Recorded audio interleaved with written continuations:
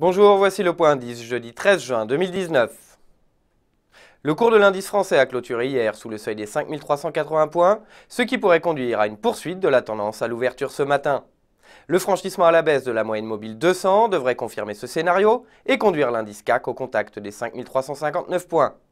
En cas de franchissement de ce dernier, la tendance devrait s'accélérer en direction du plus bas depuis le 7 juin et située à 5336 points. Retrouvez-nous dès 11h pour le Market Live et dès demain pour d'autres analyses.